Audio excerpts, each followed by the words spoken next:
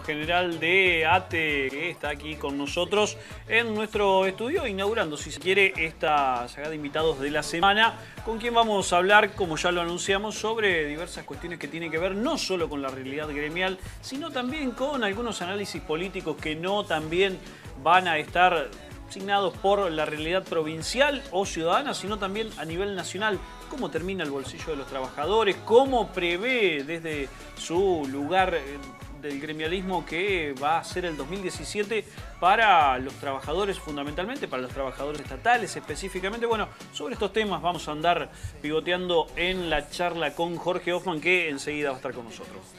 Eh, ahora vamos a una recomendación, porque recién, claro, eh, eh, es muy bueno que aportaba Nacho, que hoy tiene una despedida, me decía, ¿qué llevo de regalo en este caso? Y bueno, dice que a él le gusta mucho el vino.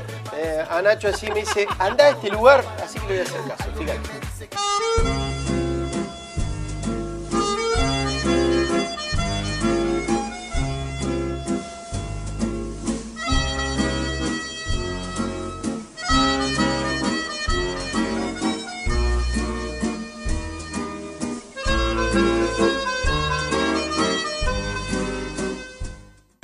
Qué lindo lugar, qué lindo lugar. Tucumán y 4 de enero, allí en el micro macrocentro Ferreira, exactamente, la, exactamente la capital de la provincia. Ahora sí, los saludamos formalmente a nuestro invitado. ¿Cómo lo va, Jorge Hoffman? ¿Cómo va? Buenas tardes. ¿Cómo Buenas tardes, gusto. ¿eh? ¿Todo tranquilo?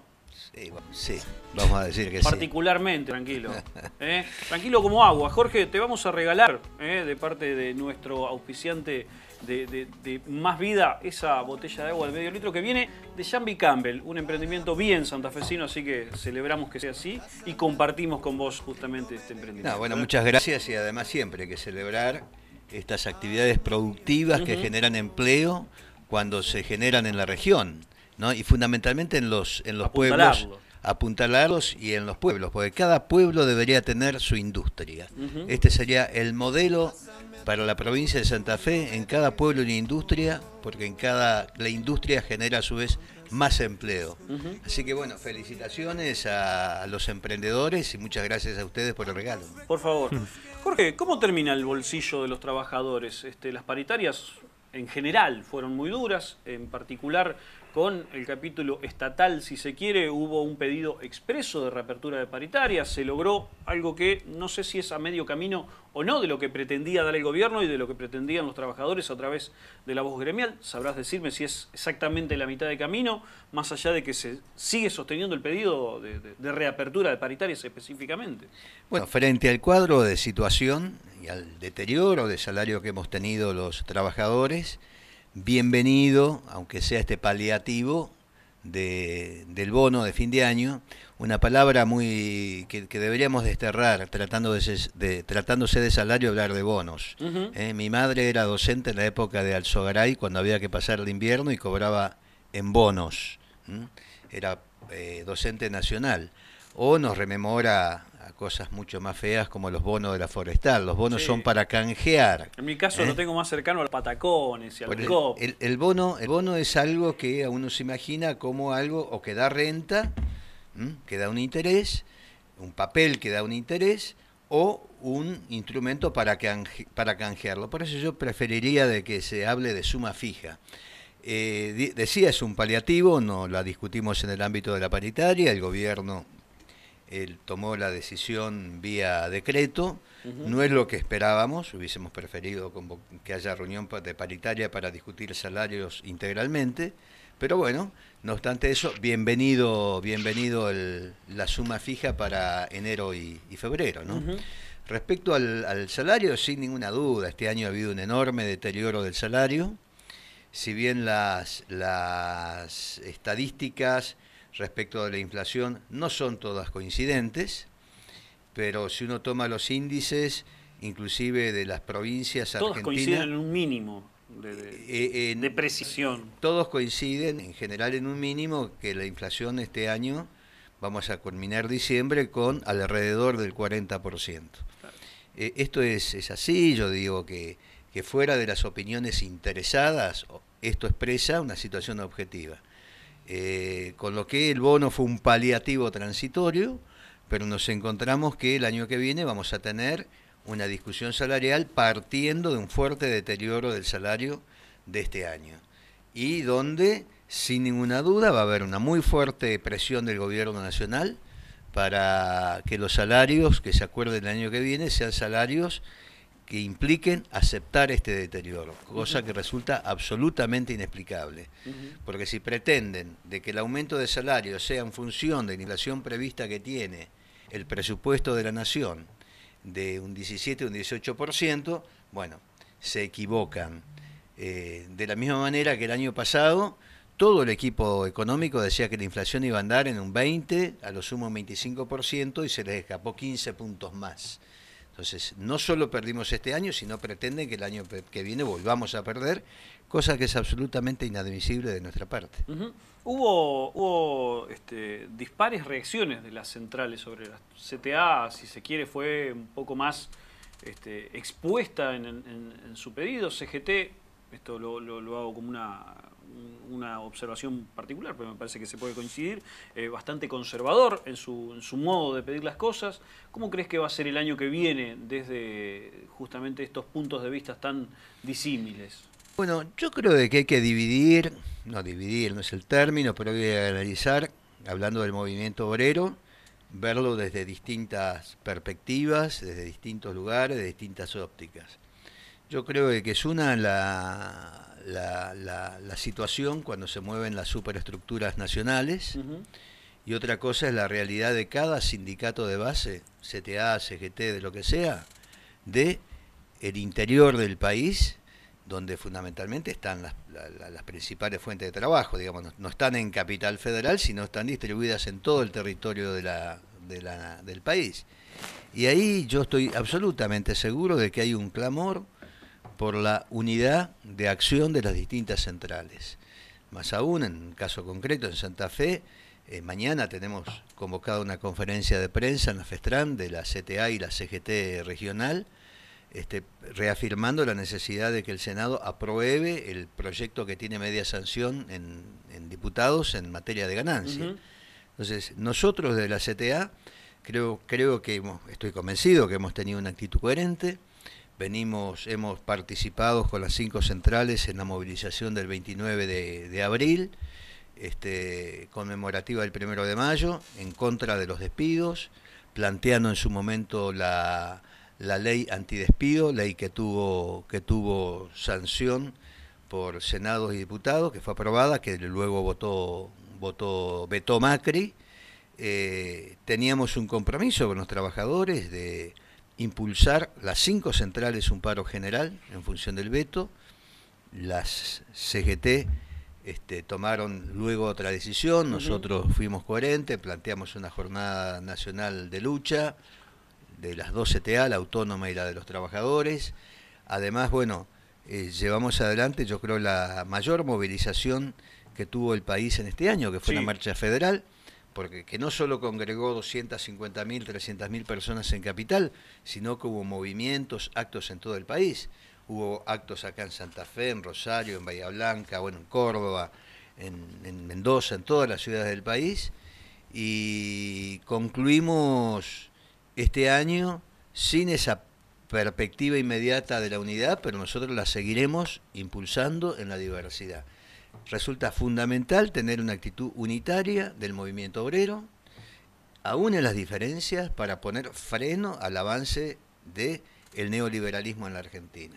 Eh, Jorge, em, ¿cómo evalúas el primer año de, gobierno de Miguel Lifchip? Este, si se quiere trasladarlo también a, a nivel nacional, aunque con lo que estuvimos diciendo más o menos ya se, se puede tallar un, poco las conclusiones en ese sentido, pero específicamente en la provincia de Santa Fe. Bueno, desde el punto de vista laboral, por supuesto nos quedó, quedó pendiente, como de alguna manera lo dije, la cuestión salarial.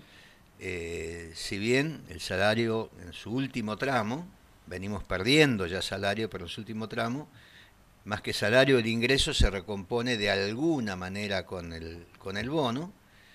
Eh, que es una cuestión que nos quedó pendiente, digamos. Después las paritarias han funcionado, las comisiones jurisdiccionales en todos los ministerios, algunas más y otras menos, en ministerios como el Ministerio de Economía con muchas dificultades, en el Ministerio de Medio Ambiente también con muchas dificultades, con mucha parálisis en la discusión gremial, estando de por medio este, subrogancias y problemas, digamos.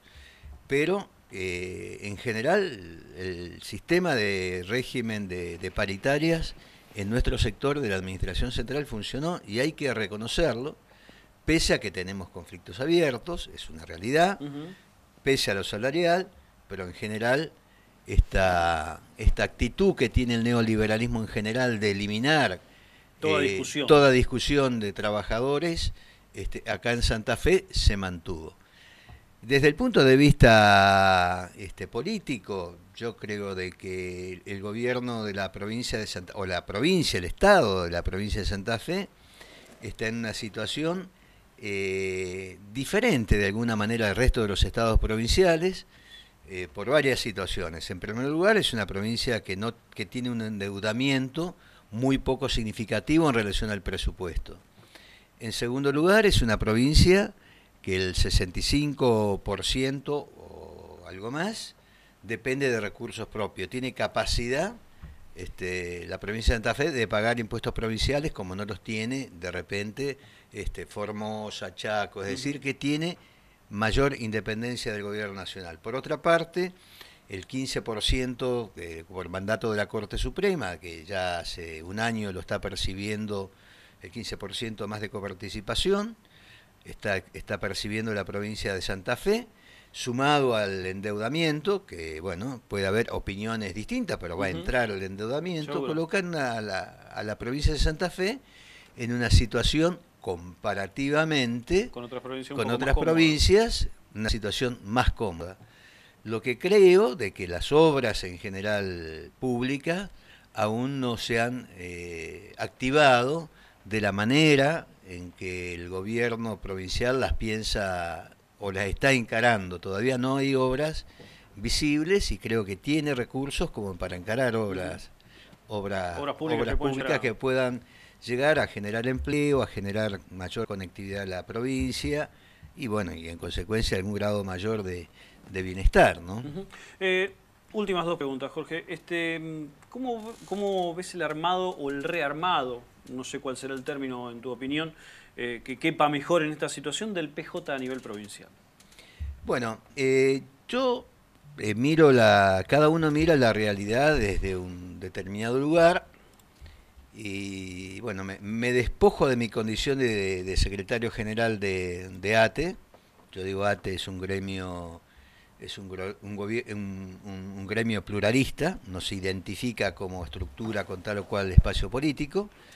Yo eh, milito, pertenezco de alguna manera al espacio del kirchnerismo y creo que nosotros tendríamos que encaminarnos hacia una, un proceso de, de unidad eh, que contemple a todos los sectores y entiendo que tiene que ser con una impronta de rescatar lo que fueron los últimos 13 años, con todos los errores, con toda la mugre que ha habido, como lo de José López y demás, pero ha habido 13 años de crecimiento en la Argentina. Es mentira que la Argentina no creció en los últimos 5 años, digamos, eso es mentira, es un descaro decirlo, cuando el propio INDEC reconoce que en el año 2015 creció un 2%, pero una Argentina que logró el, 5 o 6% de desempleo, que la inclusión jubilatoria, el salario universal, la distribución de las netbooks, la atención a, los sectores más vulnerables como... Los planes, los diferentes planes. Y, en, el caso de los acompañantes a los, a los jóvenes con problemas de adicción, la lucha contra la trata, la ley de identidad de género. O sea, yo quiero veo la unidad desde, desde un determinado lugar, reivindicando un proceso de inclusión, de distribución de ingresos y por supuesto dejando de lado todos los aspectos horriblemente negativos que también tuvo el proceso, como lo de Jaime, lo de, lo de José López, que bueno, son en todo caso, son delincuentes que no tienen que ver con la política y deben ser tratados como, como delincuentes. Seguro. Eh, y en esto yo creo que el, este espacio político, en un proceso de unidad, insisto, eh, tiene que encarar una nueva etapa. Hoy no lo veo. Hoy no veo que se esté dando esta situación en la, en la provincia de Santa Fe. de manera de que quede claro que el peronismo no puede abrazar los ideales del neoliberalismo. El peronismo es otra cosa totalmente distinta a lo que hoy está planteando el gobierno nacional como modelo, como modelo político. Eh, vamos a, hacer mirar a Jorge Hoffman con la ayuda de nuestra directora algunas fotos y vamos a pedir una frase a modo de ping-pong. ¿Qué, le merece, ¿Qué opinión le merece esta foto a Jorge Hoffman? Bueno, yo creo de que son dos personalidades que más allá de, la visión diversa que, se, que podemos tener, que han entrado a la historia argentina eh, llevando adelante un proceso de unidad latinoamericana, de gobiernos populares, eh, junto con, con, Evo, con Chávez, con, Mujica, el gran Pepe Mujica, con Correa de, Ecuador. Y creo que son fotos eh, que quedan para la historia. ¿Mm?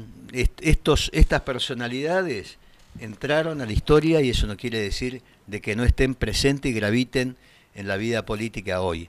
Lula y Cristina son dos expresiones que el neoliberalismo combate.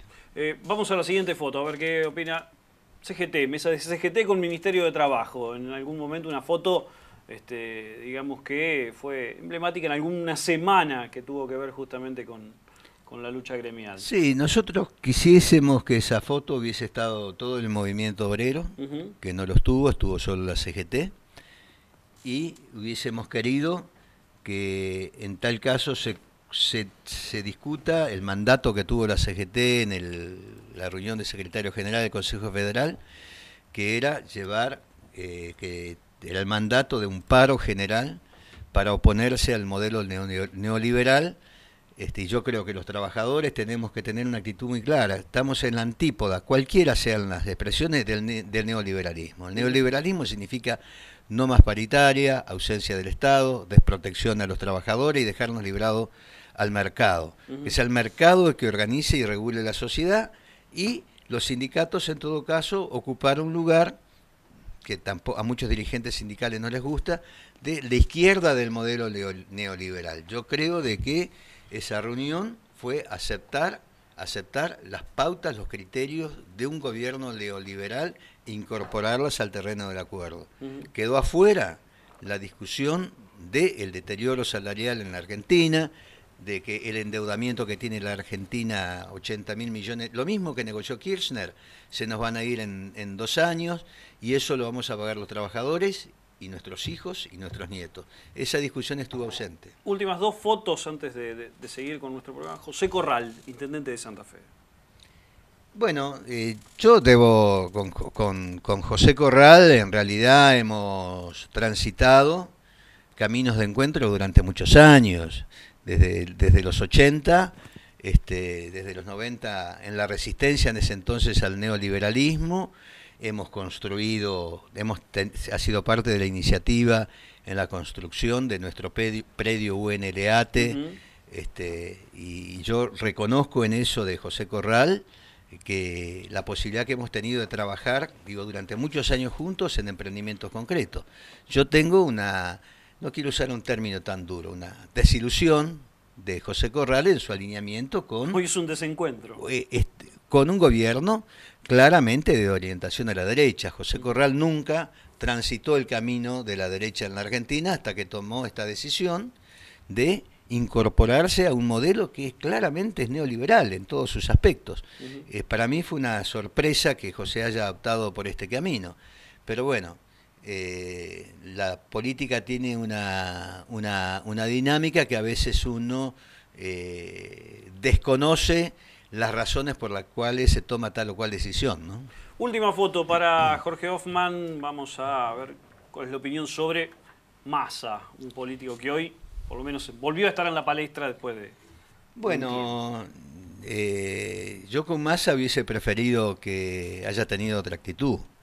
Eh, yo creo que a los gobiernos hay que darle gobernabilidad, son elegidos para que gobiernen, pero la gobernabilidad no significa eh, realizar acciones que atenten contra el futuro de la patria. Eh, Massa, yo creo de que la, la autorización de endeudamiento en relación a los fondos buitres no me gustó, creo que la aprobación de un presupuesto para el año que viene, donde se da la posibilidad de endeudarnos por 40 mil millones de dólares, coloca a la Argentina otra vez en una posición complicada en el mundo. Yo hubiese preferido que Massa, en su condición o en su intención de darle gobernabilidad, hubiese puesto límites a este proceso de endeudamiento. Eh, bienvenido esta actitud, bienvenida esta actitud de, de Massa de hacer efectiva la, la promesa que no cumplió el gobierno nacional de eliminar el impuesto al trabajo, como decían, que eso sí era quizás una irresponsabilidad, pero bienvenida la actitud que ahora tuvo Massa de concertar con todos los bloques opositores este proyecto de ganancia. Proyecto que no es ninguna locura. eh, este proyecto hoy, el año pasado, había un millón de trabajadores que pagaban ganancias, el 10% de los, los, trabajadores registrados. En este momento hay un millón ochocientos mil trabajadores, casi el, casi el doble, y de prosperar el proyecto de Cambiemos, el año que viene íbamos a estar en 2.300.000. Este proyecto significa que vamos a retrotraernos otra vez a que paguen, nada, no digo nada más ni nada menos, no importa, pero que se vuelva a retrotraer la situación a que solo el 10% de trabajadores argentinos pague ganancia. Después hay que ver hacia adelante las alícuotas y demás. Y en esto yo realmente reivindico la actitud de, de Massa, la pongo en valor y espero de que esta Argentina, donde quienes no estén de acuerdo con el modelo neoliberal, este, nos agrupemos para conformar un frente lo más amplio y generosamente posible para que no continúe el neoliberalismo en la Argentina porque nos lleva a este proceso de endeudamiento, al crecimiento de la desocupación, al crecimiento de la pobreza, a la destrucción de la industria nacional, lo vemos claramente con todos los artículos importados que están ingresando, a la caída del consumo, le podemos preguntar a cualquier comerciante cómo le va en relación al año pasado, y frente a esto lo que tenemos que hacer en democracia es unir a la oposición de todos aquellos que no están de acuerdo con el neoliberalismo en la Argentina. Y en ese sentido, hoy, insisto, yo valoro muchísimo la actitud que ha tenido Massa con respecto a eh, a, a, las tres leyes que se discutieron. Uh -huh. Al voto electrónico, que nos traía muchas dudas, que nunca se terminó de aclarar la posibilidad de absoluta transparencia. Massa este, votó en contra del proyecto. Al proyecto de la emergencia social, que después se redefinió uh -huh. en, en, el ámbito de, en la negociación de, de movimientos sociales con, con, el Ministerio de Desarrollo, pero Massa también jugó ahí un papel importante y positivo, y también en la ley de ganancias. Los tres últimos hechos más importantes del punto de vista legislativo, este, creo de que Massa... Eh, ha jugado un rol importante. A, pa, para mí ha jugado un rol importante, jugando el rol que debe, que debe jugar Seguro. desde la oposición. Muchísimas gracias, Jorge. No, gracias a usted. Jorge Hoffman, secretario general de ATE, dialogando con nosotros, analizando cuestiones que tienen que ver con lo gremial, con lo político, con lo social en general este, y en particular con partes de lo que tiene que ver con Santa